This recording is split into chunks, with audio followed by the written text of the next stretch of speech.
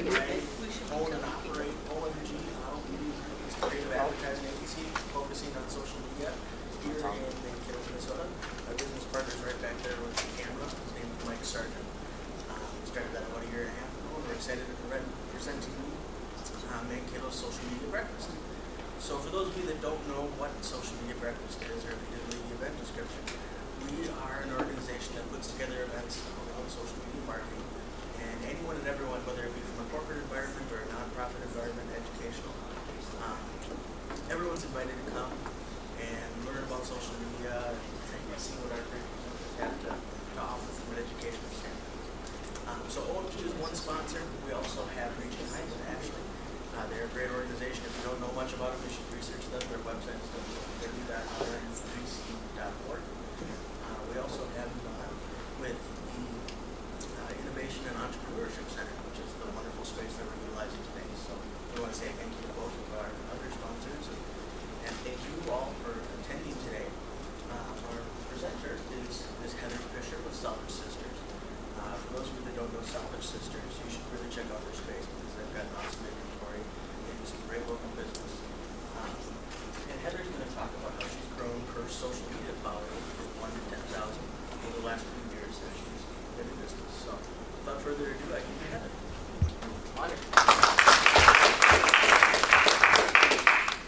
Heather, with the fans running, you're gonna have to talk pretty loud. Oh, yeah. Okay, Thank you. just one sec, I'll hook you up to my. Sorry, Wes, we were having a hard time hearing you back here. Sorry. That's all right. Really? I don't know. Listening I can- intently. I can hear you. Thank you.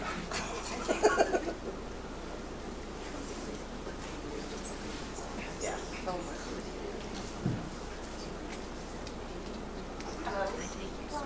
it's not gonna sit Yeah. there. I wouldn't give it back. Um, so, good morning.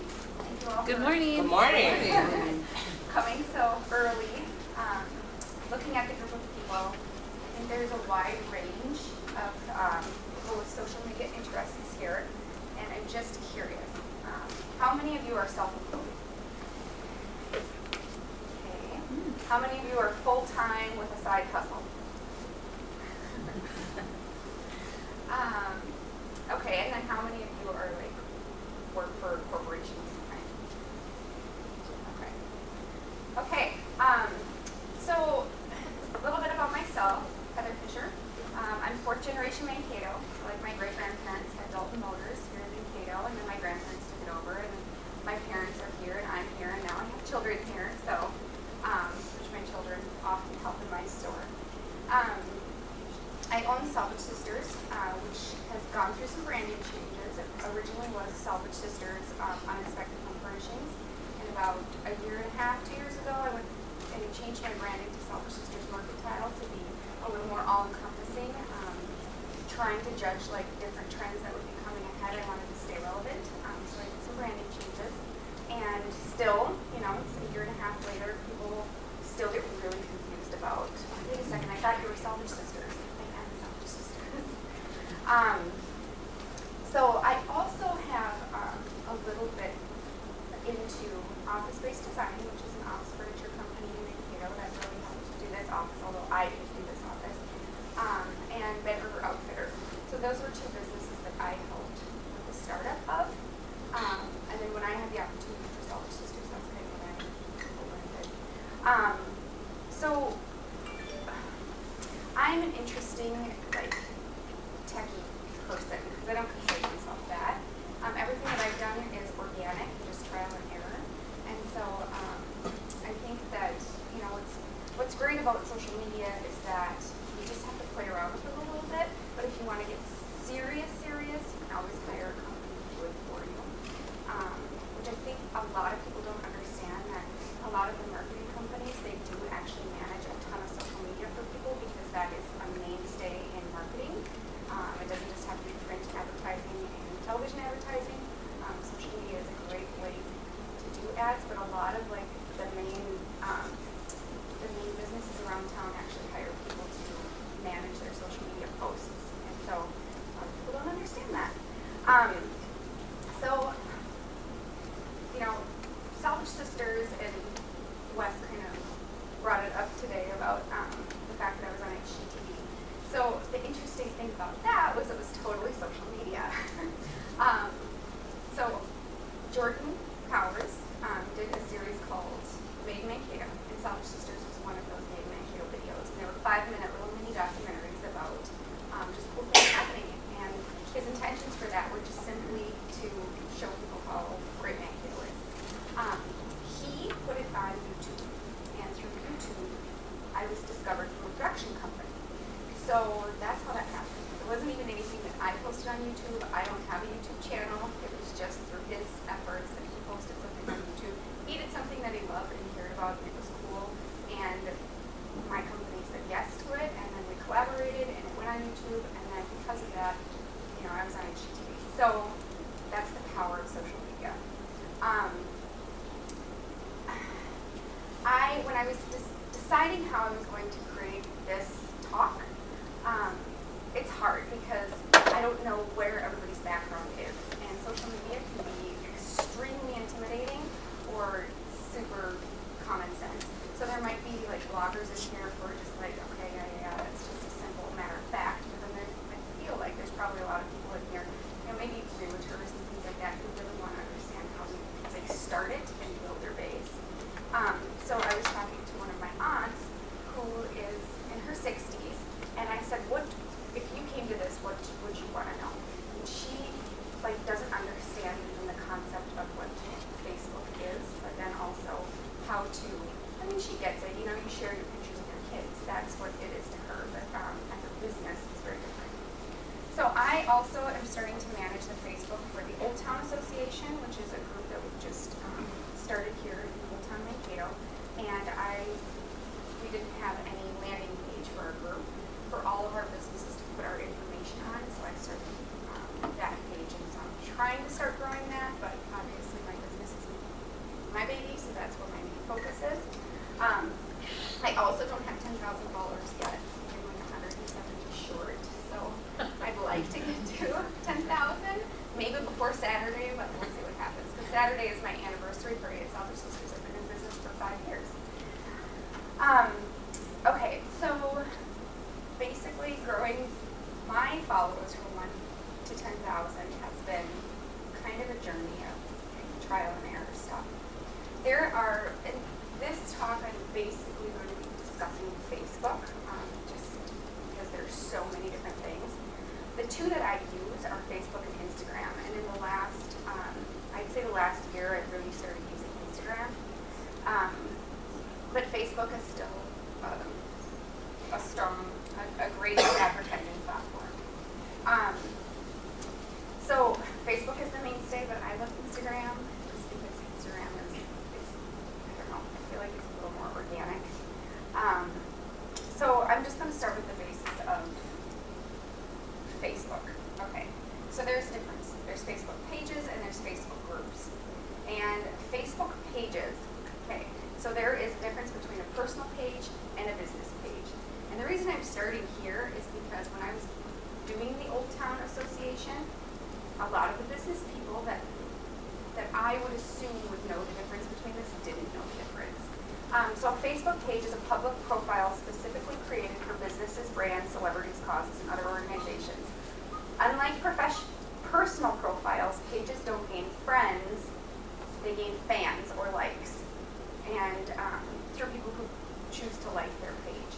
So right here is a picture of my my personal Facebook page, which um, because I am fairly in the public eye, I keep that a certain way.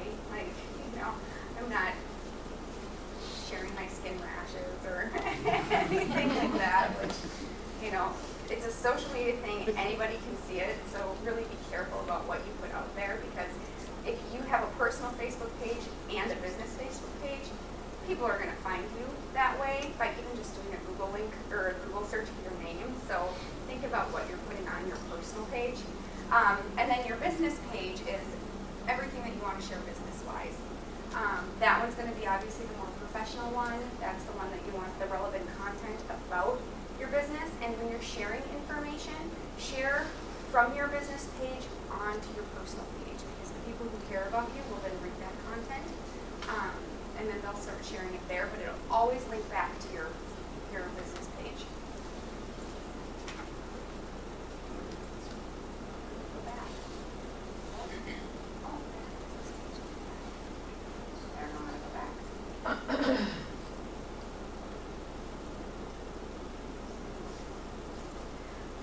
Um,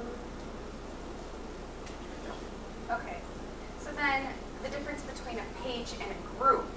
So a Facebook group is a page created for an organization or business to promote activities, and users can join the group and post their thoughts on a wall or interact for discussion or threads. So this is, um, I just did a snapshot of the Old Town Association credit group. So this is a good example just because I have so many different things. I have a page there.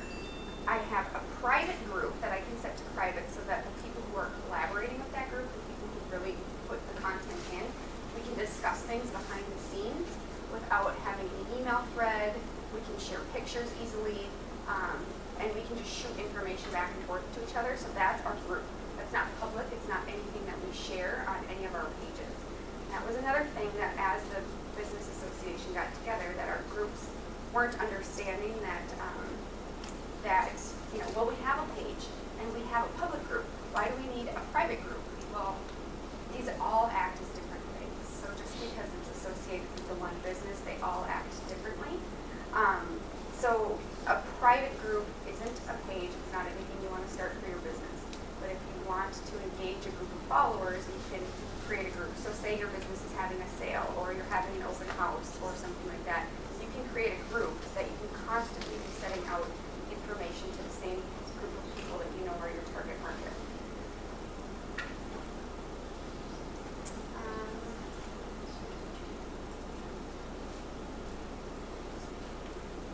So, let's see here. I do have a little, I just, um, I have a link to Facebook itself to kind of show you. How many of you have a Facebook page for your business that you manage? Okay. Um, okay. You've all set one up before. You understand how it works. Um, have any of you done any of the advertising on the Facebook page? Okay. Do you find it fairly simple and straightforward? Okay. I'm gonna go into it just a little bit to touch on it. And the target marketing, I think, is really powerful. Um, okay, so when you're creating Facebook ads from your page, um, you want to refine your content to the people who matter. So somebody who's selling real estate isn't necessarily going to be target marketing women who DIY projects. And I might be targeting people who are buying houses. So the content that I put in there is going to directly impact who actually comes in my door. Um, I have, let's see here. Okay, so how to target Facebook ads. Um, I just Googled how to reach your target market on Facebook, and then it brought me to the Facebook, um, brought me to the Facebook page, and all this information you can put in. And I am not aware if everybody understands that Facebook allows you to do this, because a lot of the business people that I deal with are surprised that, oh, guess what I just learned how to do? I can target market my employee. Like, wow, well, that's that's one of the benefits of advertising on Facebook. And another thing too is if you put in even five dollars into advertising on Facebook, it really reaches um, quite far if you've got a smaller audience. Which, you know, even ten thousand people, I feel like is a smaller audience. Um, so in this, you can fill out all of this. You just it's just prompts. So when you go on your Facebook page, and there is a little drop down menu here, and then you can go into like settings, create ads, manage ads, like mess around with this stuff. Like these are all the pages that I have access to. Salvage Sisters, Old Town Association, Dean Fisher is what I used to manage his, which I don't anymore. Um, but you can create pages, manage pages, all this stuff. So this little triangle here, just fiddle around with and try different things. And before you publish stuff, you are able to see what's going on or how much you're going to spend. So you put your credit card information there. It doesn't randomly charge you for stuff. You have to okay everything, so you shouldn't be afraid to do that. And followers and paid followers. Um, so, you know, some of these things you can see the organic content on. I'm gonna see, this might be really embarrassing, but I'm gonna go to the Salvage Sisters one and see if there's some analytics on there, because I probably should be performing a lot better than I am, um, but it has been something that I haven't been super actively trying to grow right this second. Um, okay, so here was a paid advertisement that I did. So Minnesota Business Magazine, um, somehow Salvage Sisters has been nominated as most likely to succeed, and we are competing um, against some other businesses in Minneapolis um, for most likely to succeed. So if you guys get a chance to, go ahead and vote for me, because I'd appreciate that.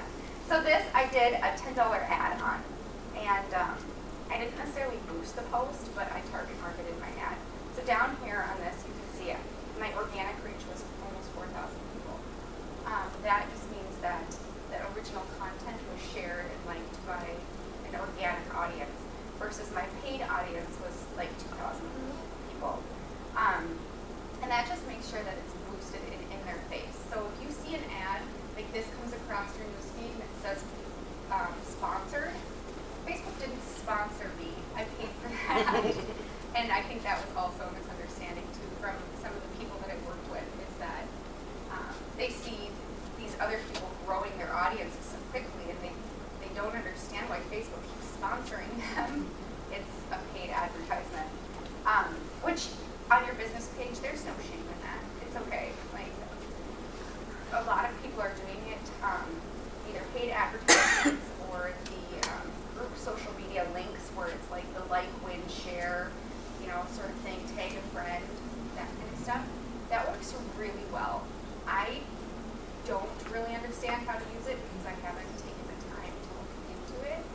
But if you do like a like, win, share, like say you're doing an open house or some kind of a business event, to get people in your door, um, you know, the like, win, take a friend, share, then all of your friends who actually are looking at this will take their friends, and then their friends are looking at it, and then they'll take their friends. And so it's really a chain effect, and that is a really great way to reach people and get people to your um, Facebook page without having to sponsor it. So that's a more organic way to do it. But it's also a paid advertisement because you're giving something away. So you have to think about, you know, so if you're doing it with like an open house, you have maybe a giveaway basket for people or, or whatever it is. I don't know if realtors would ever do that, but um, so this, you know, you can schedule your posts to um, run a certain length of time. Um, so you put a max, um, a maximum amount of how much you want to, how much you want to um, spend on your promotions. Um, let me see here. So, everybody know how to do this? Does this, this here make sense to you, choosing the right audience? Does, this, does anybody have any like questions about this part of it? The, the part that always confused me was like, I, I feel like there's like four different pages within like creating an ad, and I, I can't really wrap my head around all that. But I've created ads and sponsored posts. Mm-hmm. I just always get confused as to what I'm actually doing. So, Right. Well, because I'm a trial and error kind of person, I've just monitored like which perform better. So if I, you know, do one type of thing for a boost post versus a promoted post versus an organic post, I just see in my, let's see if I can look up here.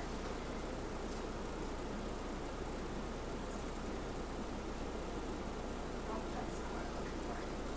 Um, Insights. where are you seeing that at? Go back one page. Top of the page, you're looking for insights. insights. Why To is the that? left. Right To under the the left. search. Oh, there. There you go. Of course, it's right here in front of everybody. Okay. So you can look at your um, your different how far each post has reached, and so there's different um, run. Okay. So and then you can see that how far each of them have gone. Um, you know, some of them. Okay, so it's five dollars a day, not very much money, and you know, I reached 7,000 people. The impressions are like how many people it shows up in front of, and um, the people that it reaches is actually like it's like their engaged user stopping to read it. Yes. Do you notice different times of day or different days of the week are better to post than others? Whether it would be weekend or evenings or And everybody's is going to be different. So it's going to be based on your target market. Um, so, like my engaged user, I my target market when I first started was um, an older demographic than what it is now. Now I have like kind of the newlyweds buying gifts for baby showers and that sort of thing. And so they're active at different times during the day. And if you play around with your tools and settings, you can see the different, um, your, when you- your user is the most active. You can see who your user is um, based on their gender and um, their age group. And you can see when they're the most actively looking at your your information, your content, um, if you just fiddle around with all of those different things on the insights After you. After you post. But once you start posting, you'll get an understanding of what's going on. Okay. So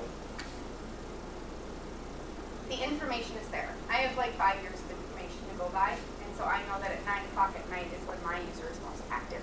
I'm not posting at nine o'clock at night because I'm putting my kids to bed. so um, there is, and we'll get to that, a spot where you can generate automatic posts.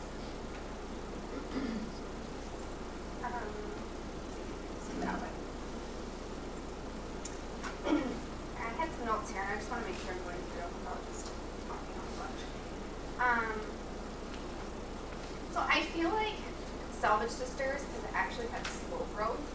Um, and so, you know, 10,000 followers seems like a really big deal, but in my world, I should have like 30,000 followers. and so, don't get me wrong, I'm super proud of what I have done, um, simply because I really have only done it as time allows because social media does take up a lot of time. Um, but there are people on there who really know how to work it, and the artisans and small business women that I'm dealing with, they really know how to work it, and so it's fun to see how they do it, and then I try and implement a little bit onto mine. Um, not necessarily copying what they're doing, but being inspired by what they do. Um, so I think that's another key thing, key takeaway is that watch what your competition is doing and do something similar. So they're posting, you know, okay, Um, it's hard. There's two different things, Instagram and Facebook. They kind of overlap now. How many of you use Instagram? okay. How many are you active users on Instagram? Okay. Good. Um, I'll get into that a little bit. Um, so, yeah, the Instagram and Facebook crossover. So when Instagram and Twitter came into the picture, which I don't